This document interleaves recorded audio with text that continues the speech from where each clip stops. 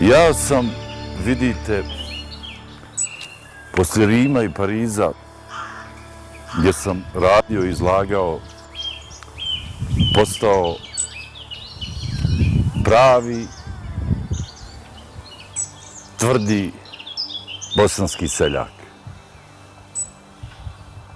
U stvari, ja sam vam pravi bogumil.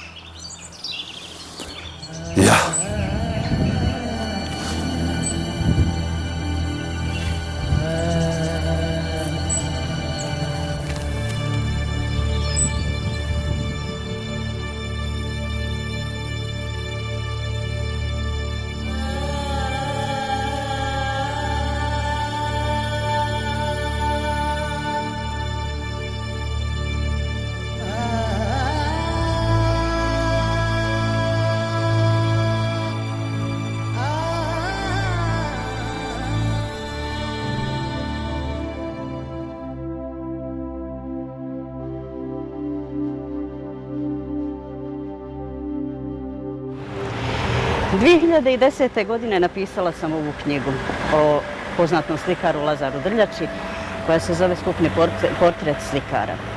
A moja fascinacija ovim čovjekom je počela desetljećima prije, 1963. godine, kad sam bila mala curica sa samo četiri godine. Prelazila sam ovaj most s mojim ocem i vidjela zanimljivu pojavu. Toliko sam bila iznenađena da nisam pitala ko je to, nego šta je to. Čovjek koji je imao šuškavac mantil na sebi i pojas od šuškavca zavezan kao kravatu, a pred njim je bio štafelaj. Nisam tad znala još da se zove to štafelaj. E, I nešto je radio. Ja sam pitala šta, šta radi taj čovjek? Tata je rekao, znaš sine, to je slikar, Lazar Drljača. I on sada slika. Ko hoće i nas uslikat. Ma neće, nije on fotograf, kao fotograf Kosovac, da klikne i mi budemo na slici. Imala sam sreću da sretnem pogled slikara.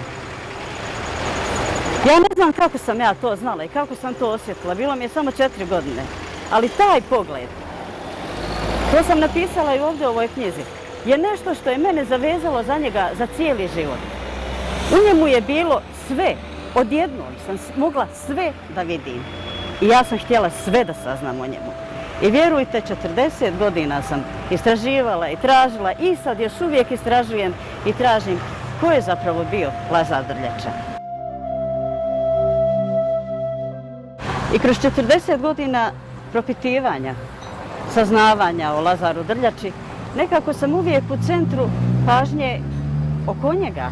Zapravo sve što se dešavalo, dešavalo se upravo oko te planine Prenj, e, koju je slikao kad sam ga prvi put vidjela. Nekako e, to je crvena ta nit koja se provlačila kroz njegov život. A ona ga je izgleda i zaustavila ovdje u Konjicu. Na jednom davnom putovanju još 30. godine kad je svojim rukama Čeze napravio, upregao svog konjića Pegaza i krenuo na put od svoje blatne pa krenuo kroz Bosnu i zaustavio se ovdje u Konjicu. Kad je pa, bacio pogled i pogledao na ovaj prenj, on je znao da će tu ostati. 33. godine vratio se i ostao ovdje da živi upravo ispod planine i prenj eh, u selu Borci.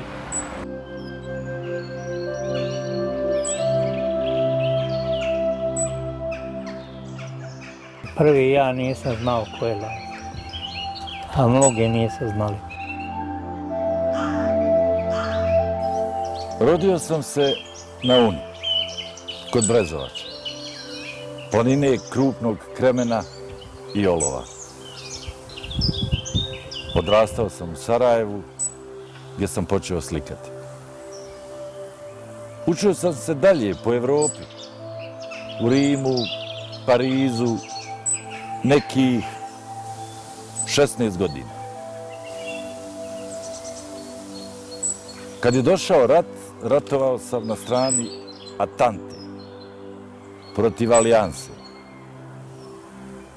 Oženio sam se čim sam stigao iz tople Italije i došao u rodno selo na Uni. Moje gospođi je ime Bijeda.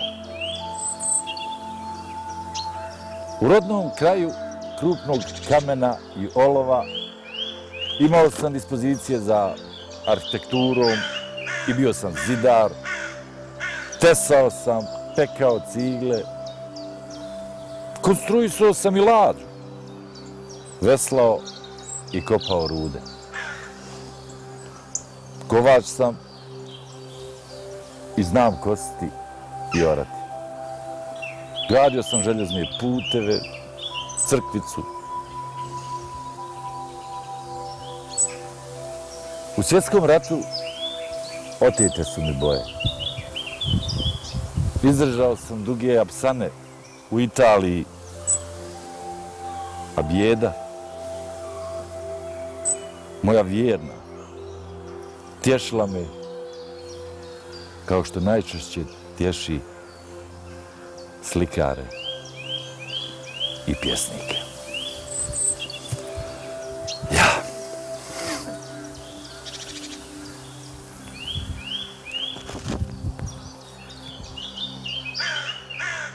Mi smo svi bili nepismeni i nije lako, onaj, nikoga nije ni razumio. Nisam ni, ja, evo kažem ti, a, posle 25-30 godina sam se sjetio. Lazo je bio onda školovan i, i vodo i, i savremeni i sve šta se. Samo je onaj Lazo pametan bio, ali eto tako je imao sreću i čuješ, imao je lošu sreću. Ime zna se, Van Gogh je pobjegao u Arl, tragajući za suncem, a onda naišao je na suncokrete, pretvorio ih u svoja božanstva. E, emocije su navale svom silinom i na kraju je poludio.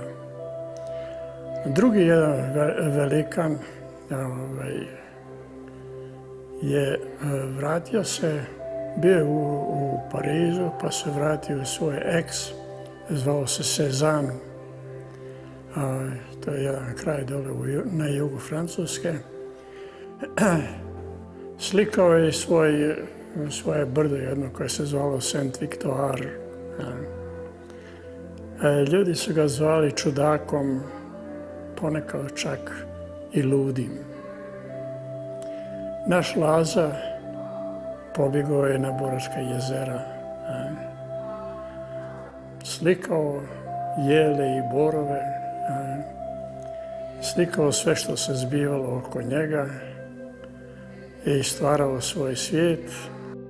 Njega su, dok je bio na Boračkim jezerima, zvali upravo tako, zvali su ga čudakom. Čak smo predviđali neke vanzemaljske ovaj, sposobnosti i tako dalje.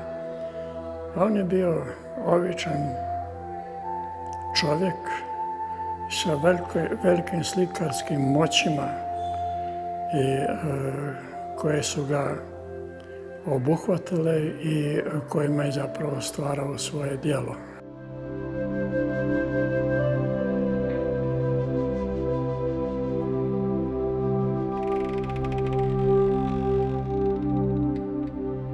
Lazar Drljača je rođen 1881. godine 10. februara. Što ovo posebno naglasa? naglašavam zato što je e, nekad napravljena greška u tom njegovom datumu ovaj, rođenja i stalno se provlači kao da je nekad e, 82. Godine u 10. mjesecu rođen, a nije. Znači, on je bio vodolija u, u februaru mjesecu rođen. Rođen je u e, selu, e, u zaseoku Blatna, selo Buševići e, kod Bosanske Krupe u porodici naprednog seljaka Mihajla Drljače, koji je u to vrijeme bio pismen i to je bilo vrlo rijetko. I držao je do toga da njegov sin također ide u školu, ima još jednu kćer ovaj, koja je mlada umrla, A Lazar Drljača je e, sam svjedočio i govorio da su prvi njegovi umjetnički koraci zapravo potekle od njegove majke, koja je krasno recitirala e, te e, pjesme narodne, junačke pjesme i radila je divne radove, ručne radove. On je uvijek isticao da je bosanska žena velika umjetnica i e, nastojao je da e, u razgovoru sa ženama, tim seljankama, kasnije kad je došao na borke i e, uvijek, da, da im kaže da su one umjetnice za prave i neke je podučavao e, bojama kako slagati i tako dalje. E, pokazao se kao odličan učenik u Bihačkoj osnovnoj školi, tako da su e, predložili njegovom ocu što je u to vrijeme bilo rijetkost da dijete nastavi školovanje i on se, Boga mi, odlučio i poslao ga u Sarajevo na zanat. Sarajevo dolazi 1900. godine kod svog ujaka Grmuše i živi kod njega tokom eh, svog školovanja u Sarajevu. 1906. godine postaje stipendista Srpskog prosvetnog kulturnog društva prosvete iz Sarajeva.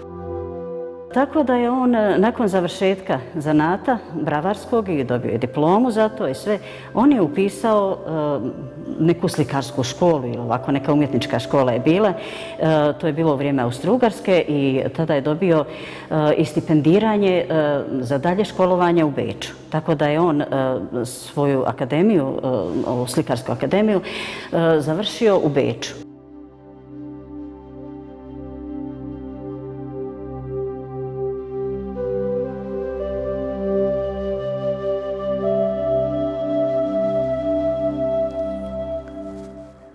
Projekat koji je radio Lazar Drljača kao građevinski tehničar sa svoje 24 godine. Ovim projektom počinje njegov stvaralački rad.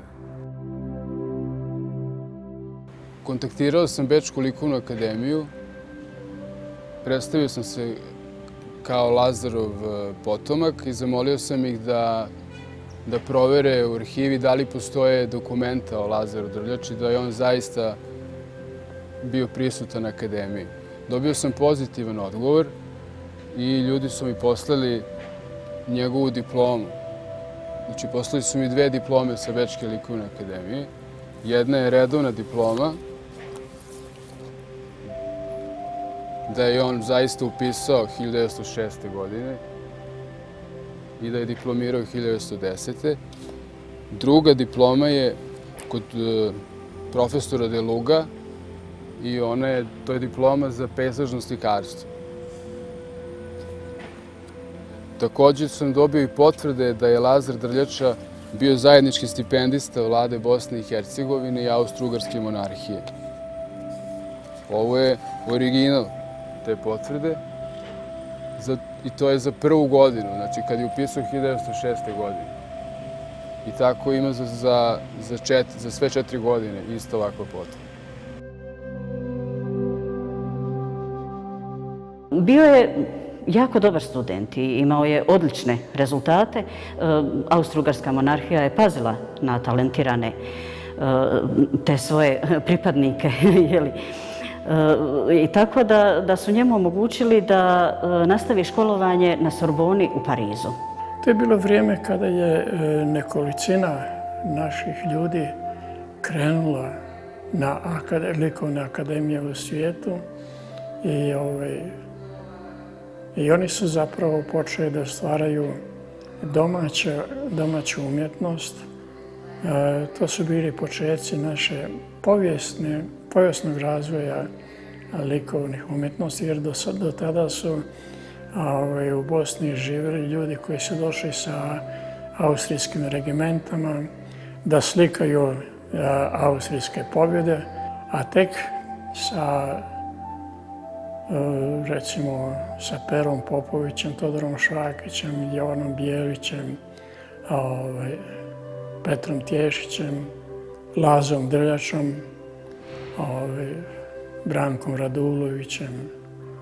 Ovaj, počela se stvarati domaća umjetnost i 1907. godine trojica slikara su napravili prvu domaću likovnu izložbu Eto, tako je, tako je to počelo. I on je Sorboni kad je polagao, bio siromašno dijete. Trebao je biti prvi student. I, i to ga je razočaralo. Nekako je u životu suđe nepravdu. Dočekao. Nije, nije bilo onaj... Nije mu bilo pravo. Bila je nepravda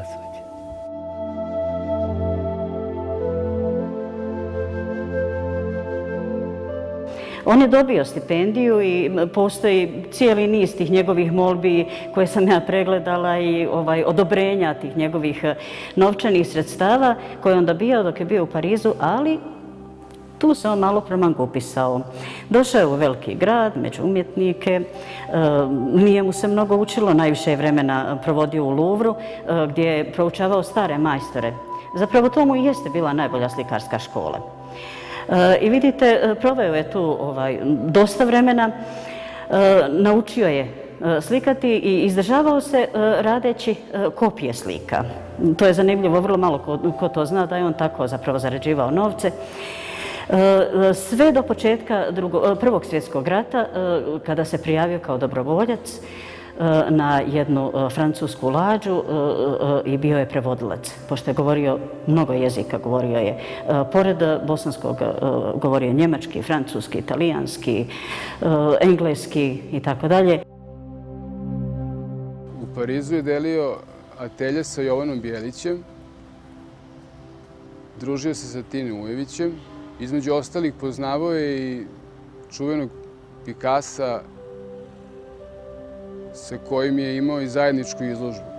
Na toj izložbi je učestvovalo desetak, 15 slikara i ja sam pokušao da dođem do e, plakata izložbe na kojem bi trebalo da bude i Lazarovo ime.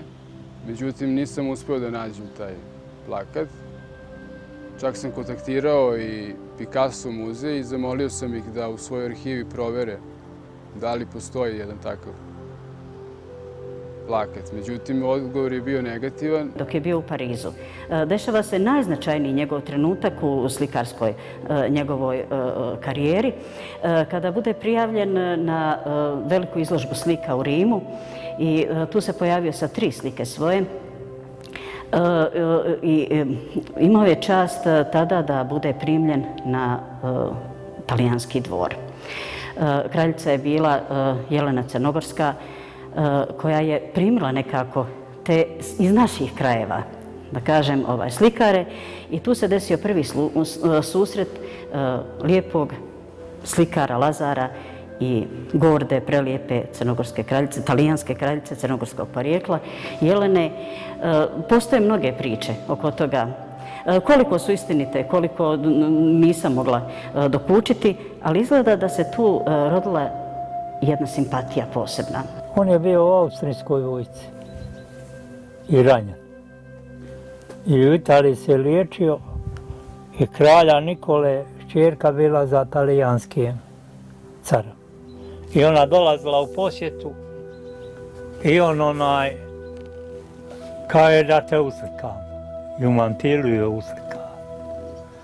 I kad je car vidio u mantilu mu ženu uslikao, kad je iz bolnice u zatvor i kad je Jugoslavija oslobodila se on je dvije godine u Milanu bio u zatvoru i sliku.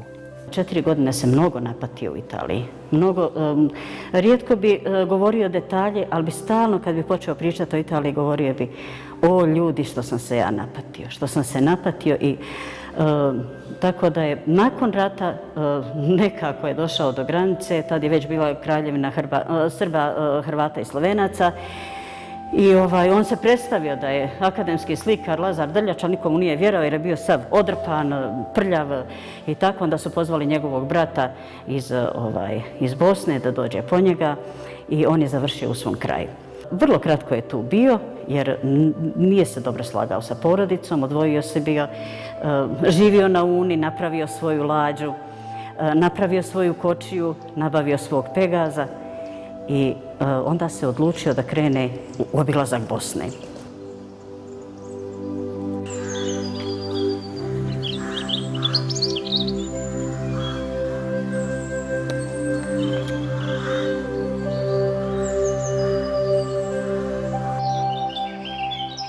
Paletom i s blokom kroz carstvo prirode lutanja, gledajući pašnjake i stada i žetve zrelih klasi, slušajući potoka Romor i jezera vječno čutanje. Pučini morskoj, što zrak je užarene sunca, trne i gazi.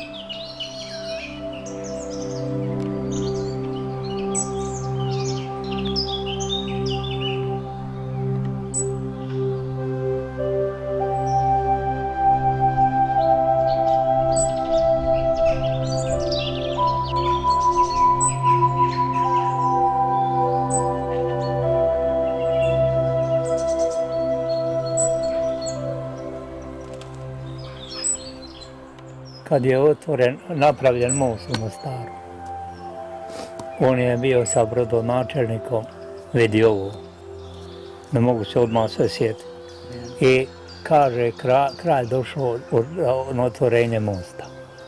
I on priča, brodonačelnik kaže, ima jedan slikar, kaže, e, spremimo da dođe da ga uslika na most. I on je adjudanta koga, ja ne, to je trenu. Kao mogu ga primiti za dva sata, ja na most neću doći da ga slikam.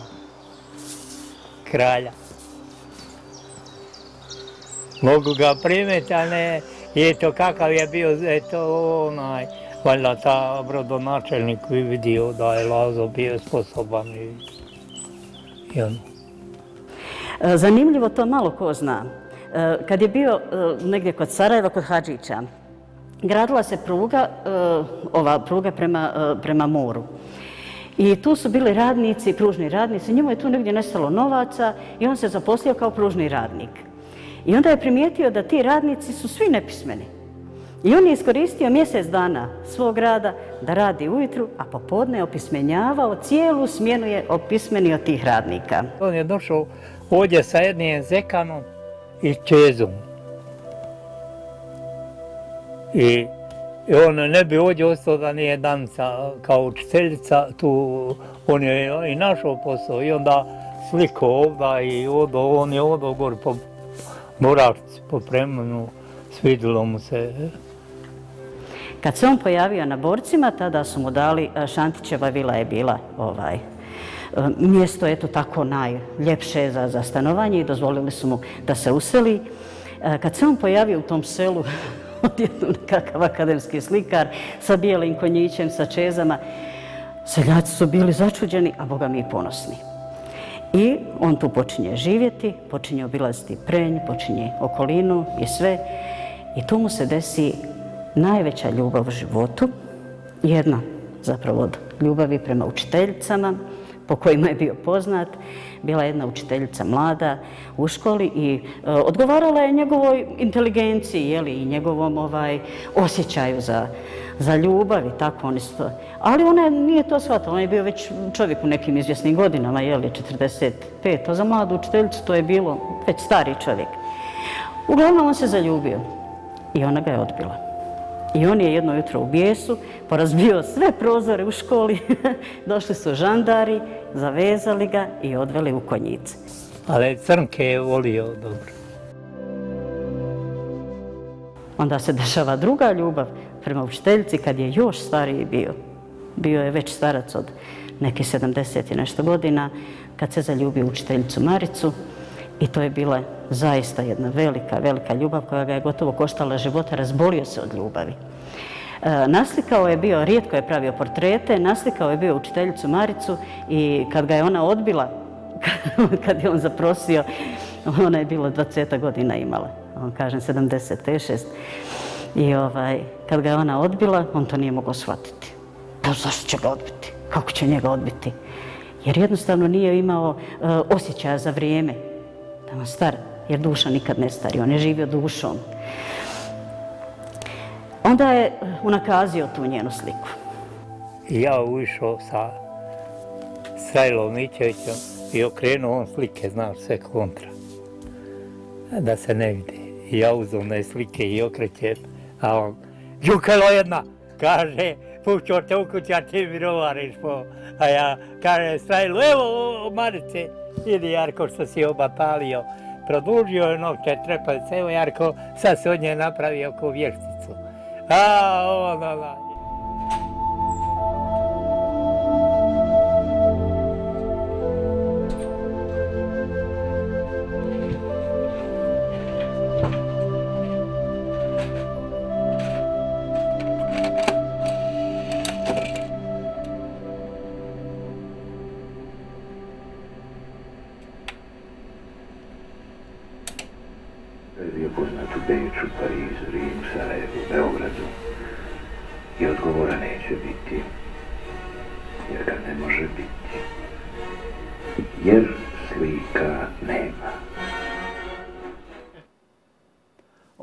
Film Sjećanje na gospodina Lazu, koga sam uradio, pa evo, taman prije 30 godina. Hm. Sad, kad gledam ovaj početak, pitam se u čemu je bila moja opsjednutost, a i danas više životom Laze Drljače nego njegovim dijelom. Jer ja kad sam počeo da se pripremam za snimanje toga filma, ja sam vidio samo tri Lazina crteža. A od seljaka u selu Borci, koji sam snimio preko 70, 72 sugovornika sam imao koji su mi pričali o Lazi, o njegovom životu. Onaj, skoro svaka epizoda, svaka priča je bila toliko interesantna da me je fasciniralo znači, više njegov život nego njegovo dijelo. Poslije je bilo obrnuto. Evo, upravo sad ide ovo, pogledaj, ovo je neobična priča o još neobičnijem čovjeku i slikaru, čiji je život postao legenda. Šta drugo reći za čovjeka koji je bio akademski slikar, arhitekta, tehničar, bravar, zapinjač gvožđa, pekač rakije, kosac, pružni radnik, capiner, miner, kuhar, kopač, pjesnik, bogumil, isposnik, legionar, poliglota, globetrotter. Sve to je bio gospodin Lazo. A, parafrazirat ću jedan njegov monolog ovaj, kad on kaže zar sam ja pustinjak ako živim u ovoj ljepoti. Nema veće pustinje kao što je veliki grad mislim u toj njegovo, njegovom razmišljanju je upravo esencija i njegovog modus vivendi, onaj, načina života koji je on odabrao.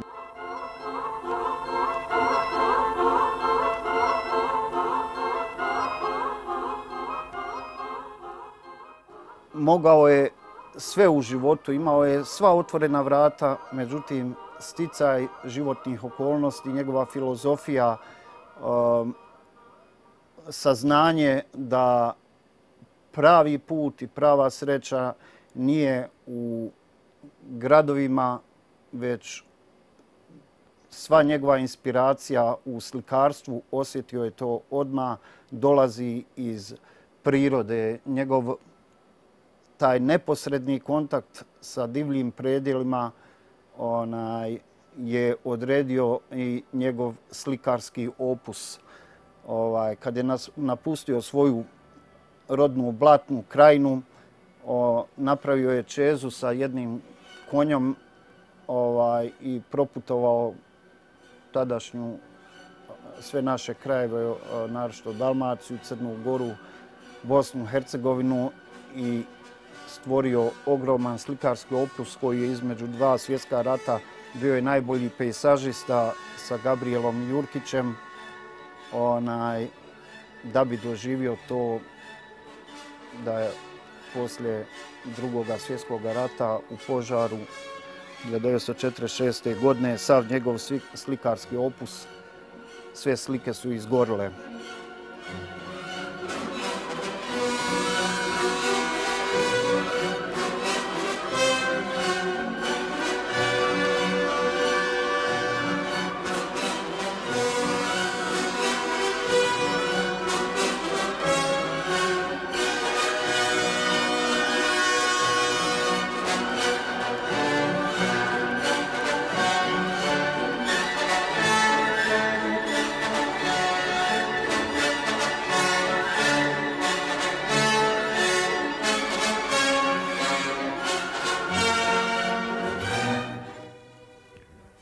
Čemu će me se ljudi sjećati?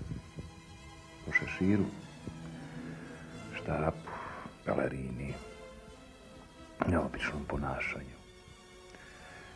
I to samo dok pomru oni koji su me poznavali. I s pravom će se ljudi pitati ko je taj Lazar Trljač? Šta je on naslikao? Gdje su mu slike? Da vidimo zbog čega je bio poznat u Beču, Parizu, Rimu, Sarajevu, Beogradu. I odgovora neće biti, jer ga ne može biti. Jer slika nema.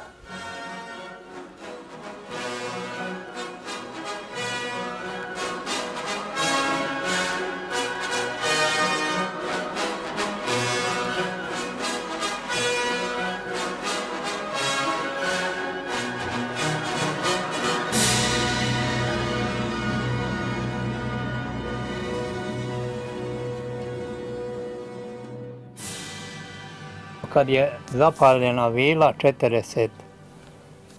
43. u jesen. I on je u jednoj kolibi tu prezimio. Vođe vamo ima jedno 500 metara. I priliče je bilo. I ognjište je bilo. Od drveta je koliba bila. I on je oko ogrešnja popratne naložio i obložio da mu je toplije. Ko kreveta, ja.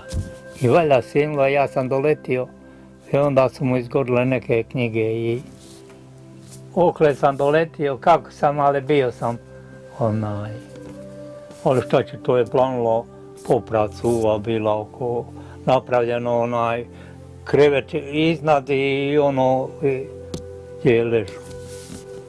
I tad su mu slike izgorile, jel? Jes, ja mislim.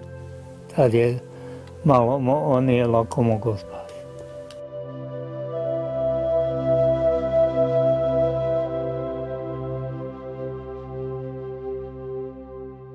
Zna se da je ovaj, na početkom drugog svjetskog rata 1941. godine, kako on kaže, svi su se skupljali i rušili ono što je on nasakao i na kraju je izgorila ta njegova koliba u kojoj je živio. I to se, ta se ovaj, paljevina ponovila i 46. godine, tako da je uglavnom to njegovo veliko dijelo nestalo izgorilo. Ostale su ovi pabirci na osnovu kojih mi možemo na neki način rekonstruirati princip na kome je gradio svoju sliku, ali nemamo više tog uvide da kažemo, e, ovo je ovako, ovo je onako. A, Poslije 46. godine je e, slikao ponešto, ove, ali već je bio i e, ostario i više nije bilo te e, eruptivne energije koja ga je nosila u ranijem stvaralaštvu. Tako da je uglavnom ovaj, ove, ostalo vrlo malo od njegovog dijela za nas, njegove potomke. Ali ipak makoliko malo ostalo i ma kako to izgledalo, ovaj, ipak je veliko, moćno i zadivljuje nas i svojom biografijom i svojim dijelom, tim svojim čudesnim osjećanjem sebe kao bogumila.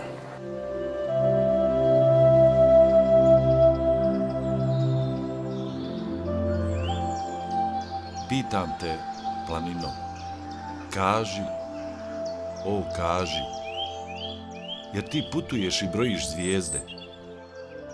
Koja je moja u dalekom svemiru, gdje ljubav na njoj rađa se i zrači. A tvoji vrhovi kroz oblak se veru u vječnom krugu što se provlači da je nađu i vide i meni kažu. Ali moje oko još dalje prozire daleko, daleko u svemirski kraj i dalje vidi gdje ljubav mre, gdje se ljudi obmanjuju da tu je raj. Planino, kaži, pitamo te, kaži, da li su ti teški oblaci suri nad ponorom, jer si na vječnoj straži? a oblaci crni, sve crnji i crnji. Planino gorda, gdje ti se žuri i da li te munja pokad okrnji? Kao pramen kose na čelu njenu, oblaci suri, baciše sjenu. Pred licem tvojim u pola dana, o, kako si lijepa, kao zora rana. Planino putuj, požuri, požuri, volim tvoju kosu i oblak suri, ja i ti sami. I svemiru kaži, jesi li našla zvijezdu i nju i kosu na čelo, potraži, potraži. Boračko jezero je on slikao sa pozicije e, Šantića Vile gdje je živio zadnje godine života. Ovaj, dolazio je na to mjesto prije i 30 godina skoro on je crtao zalazak sunca nad Boračkim jezerom na onom dijelu koji otiče prema rijeci Šištici. Onaj, kaže, to je nedovršena slika. Pa Tada je voda u najpunijoj mjeri pronašao svoj unutarnji agon, svoje stalački poticaj da stvara dijela. E sada o njegovim dijelima ljudi različito govore, različito pišu. Uglavnom, e, slažu se u jednome da je on bio realistički e, slikar, da je tako, ima nekih eh, ovaj, elemenata impresionizma, ekspresionizma i tako dalje. Međutim, eh, njegove slike koje proističu iz jednog čulnog odnosa sa svim elementima koje je zatekao na Boračkim jezima, jezerima e, i on je ušao tada u jednu obaveznu epohu svoga stvaralaštva u neorealizam. Ne? Eh, ali ne da se ugleda na eh, druge koji su već eh, oblikovali taj neorealistički pokret, nego je on sam svojim duhom, sam svojim stvaračkim egom došao do toga, do tog poistovjećenja sa drugim likovnim umjetnicima koji se smještaju u taj prostor mm, neorealizma. On se vraćao, dakle, klasičnim vrijednostima nakon svih iskušenja koja su pratila povijest evropskog slikarstva na početku 20. stoljeća. Reklo bi se da se Lazar Drljača priključio horskom pjevanju slikarstva 40. godina, ali silina njegovog individualizma praćenom osobenom emocijom proisteklom iz strukture njegovog, njegovog karaktera, satkanog od razbuktale voljnosti i nepokolebljive upornosti, čini otklon od općih stanja, njegov glas poprima svoje autohtono značenje to zvuk, e, i svoje zvučanje i to zvučanje postaje prizivni faktor u traženju izvornih motiva, onih motiva u koje će moći smjestiti vrhovnost, vihornost svojih emocija, formirati sliku koja će biti tako oblikovana da se kroz nju dogleda ona skrivena istina, druga realnost, a istina te druge realnosti jeste magični realizam.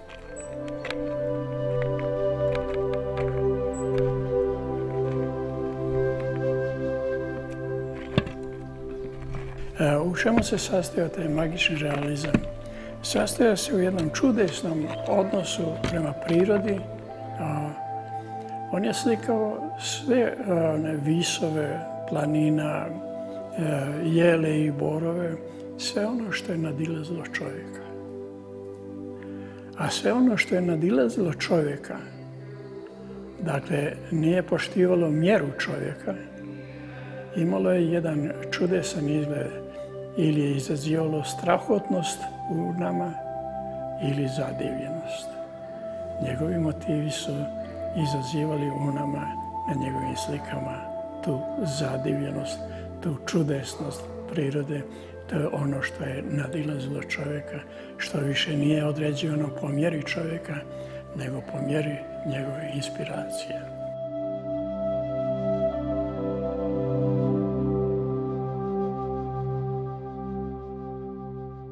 Zapravo, e, Lazar je bio posljednji bogumil koji se popisivao kao takav.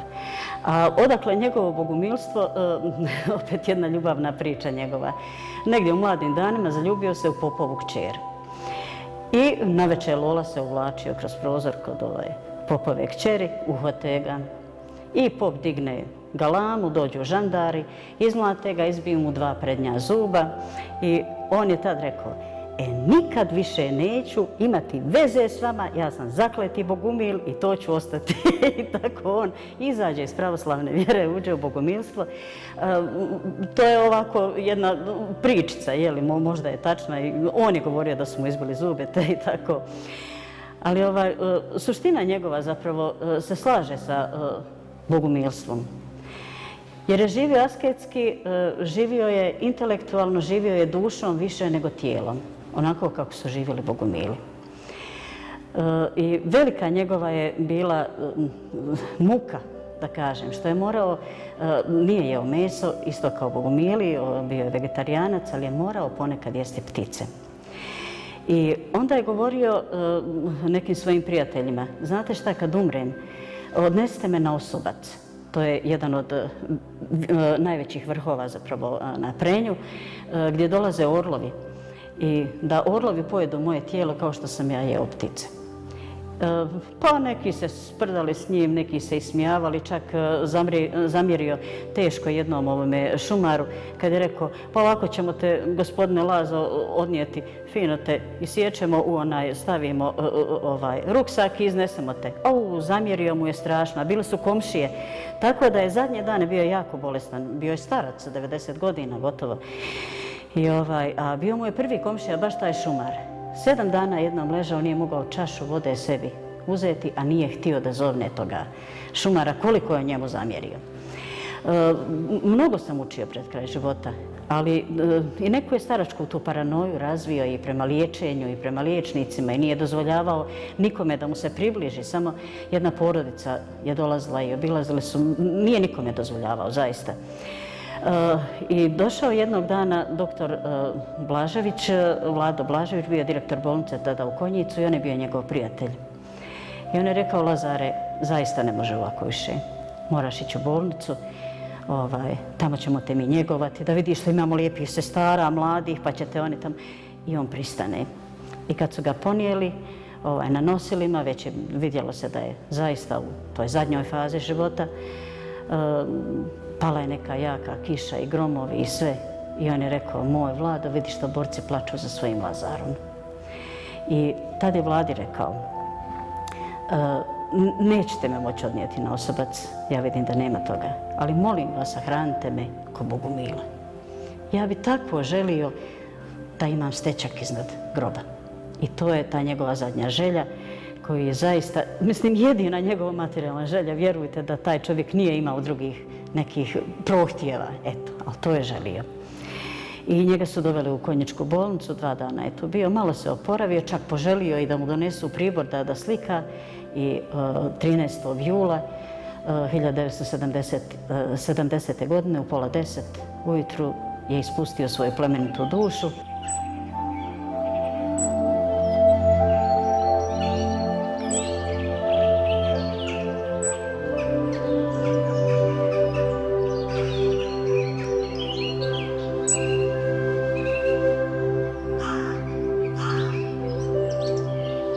Kako je nastala ideja da se podigne stečak Lazaru Drljači? Kada smo osnovali udruženje Slavika, razmišljali smo koji projekat da napravimo da nekako predstavi naše ciljeve na pravi način. I moj otac se čak našalio, mogli biste podići stečak Lazaru Drljači, ja sam zapravo tada prvi put čuo za Lazara Drljaču. On je njega upoznao kada je bio dječak, možda 4-5 godina, kada je išao na Boračko jezero, on im, Lazar Drljača je imao običaj stopirati. I tako je upoznao njega, fascinirao se kao većina djece, odnosno većina sad starijih već generacija koji su poznavali Lazara Drljaču. I tako, to je bio jedan poprilično ambiciozan projekat da se podigne stečak. Istražili smo, niko nije podigao stečak još kako se pamti. I Lazar Drljač je bio taj posljednji bosanski bogumil koji je želio da bude tvrdi bosanski seljak radije nego evropski gospodin. I to je baš bila neka prava slika e, prava slika onoga što mi želimo da, da, da postignemo tim našim udruženjem. Tako da smo istražili dosta Lazar Drljači, angažavali smo sredstva koja smo imali, uz naravno pomoć nekih naših sponzora, angažovali smo naše članove i razne ljude koji su, koji su htjeli da učestvuju u takvom jednom projektu i onda smo se otisnuli u te vode podizanja stečka. Dovukli smo kamen Bihacit iz tih predjela, odakle je Lazar Drljača, pa je to već bilo na neki način simbolično, dalo nam je neki polet u izvršavanju tog projekta. I postavili smo ga u Zemaljski muzej u Sarajevu i krenula je ta naša priča o, o, o osmišljavanju, klesanju i podizanju stečka Lazaru Drljači, posljednjem bosanskom bogomilu.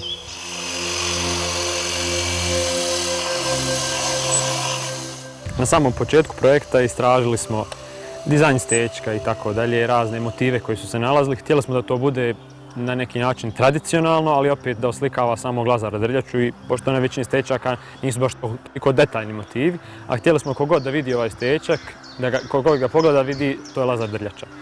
I na kraju smo došli do nekih umjetnika koji su trebali da ga dizajniraju, isklešu i tako dalje, ali kao, kao što to često biva, umjetnici su zakazali, tako da su članovi udruženja, na njima je ostalo da naprave dizajn i da izvedu sam, samo to klesanje stečka, tako da smo se kao od početka pa i do kraja projekta snalazili s onim što imamo. Nismo bili svjesni koliko je zapravo teško napraviti jedan takav projekat i mogu samo zamisliti kako je ljudima u ona vremena bilo napraviti jedan stečak i podići ga na neko tako visoko mjesto gdje najčešće možemo naći stečke, a mi smo imali svu moguću mašineriju, bar smo nadali se da ćemo imati i onda su došli naravno ti problemi, ko će šta dati, koliko će šta koštiti i tako dalje. I na kraju smo zaglavili sa završenim stečkom u Zemaljskom muzeju u Sarajevu koji nije mogao da makne jer je težak bio možda 7-8 tona. Našli smo se u toj situaciji bez daljnjih finansijskih sredstava i odlučili smo da pauziramo, da jednostavno se malo, malo stvar slegne, nadali smo se nekom uspiju. I nakon kratkog vremena javili su se dobrotvori koji su nam pružili svu potrebnu mehanizaciju koja je stvarno bila pozamašna da bi dopremili stečak ovdje i postavili ga tako da smo 15. augusta 2011. postavili ovdje stečak Lazaru Drljači 40 godina nakon što je, nakon što je on umro i ispunili mu posljednju, posljednju želju.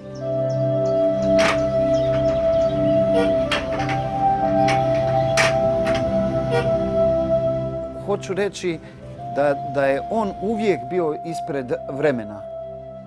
Tada njegova poimanja o prirodi su toliko u sebi sad ima ono što mi govorimo ekoloških onaj razmišljanja da da je on i danas ispred vremena u, u tom svom odnosu prema prirodi. Onaj, on bi znao, bio, bio je ribar i znam dobro to jer je ribario sa mojim ocem, pa bi uhvatio jednu ribu ovaj, od 3-4 kile onda je bilo ribe i stavio bi je na mravinjak da je mravi jedu da ta hrana kruži, napravi onaj prirodni krug, onaj, a uzme sebi samo komadić jer mravi će to bolje da i njima onaj, ma mislim, sve je skoro neobjašnjivo. Ovaj, zato je bio i u to vrijeme, da kažem, čudak. Ljudi su uživali da dođu, međutim, on nije volio ljude. I, i to je ovaj jedna od konstanti eh, njegovog duboko, dubokog razočarenja u ljude. On je gledajući na Boračko jezero kad je vidio dvije kuće da se napravile na jezeru, rekao ovo jednoga dana ovo jezero će biti septička jama. Danas je to skoro došlo ta vrijeme. Proročanski je onaj svako oboreno stablo bila je rana na njegovom organizmu. Onaj Evo, film se završava, on stoji na, na svome grobu to, to sam našao mjesto, ovaj, zadnji udari groma su dešavaju se na njegovom grobu pored Šantića vile. Ma zaista,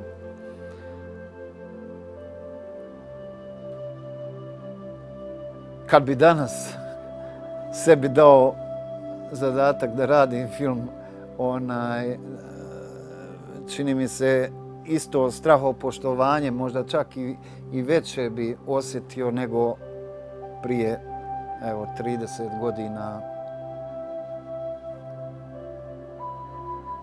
Ovo je snimano u vremenu gdje su živjeli drugovi i drugarce, a vi sa Lazom niste mogli započeti razgovor ako ne kažete gospodine Lazo. Zamisli.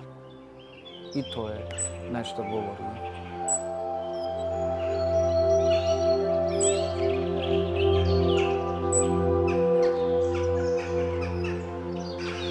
Jednoj grupi sam otišao dole upravo da vidim Lazu Drljaču i to gdje on živi. Jako nije, e, nismo progovorili ni jedne riječi. E, on je u mene gledao kao u nekoga, e, neko drvo ili ne, neko granu koja se tu našla slučajno na njegovom putu, a ja sam u njega gledao kao božanstvo.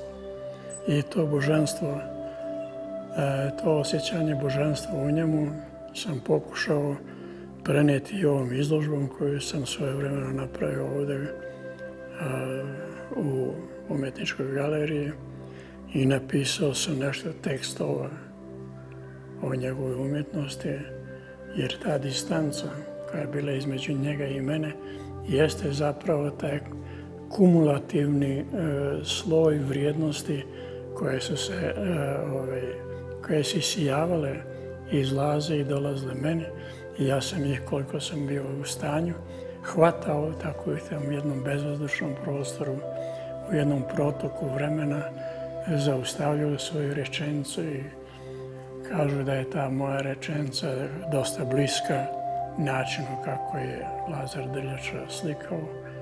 Kad mi to kažu, meni je veoma drago i kažem, drago mi jedino što sam je tada jedan jedini put vidio i to uglavnom sa distance.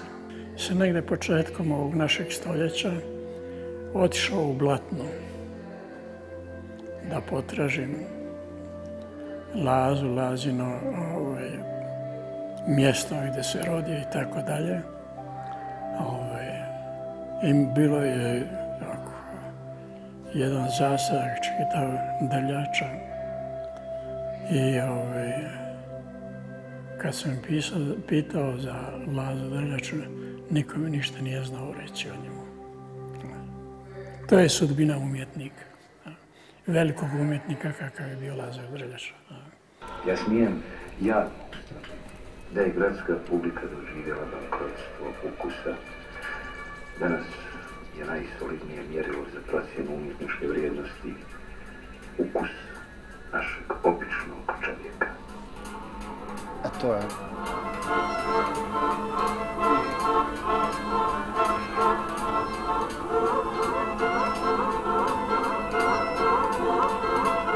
To je to.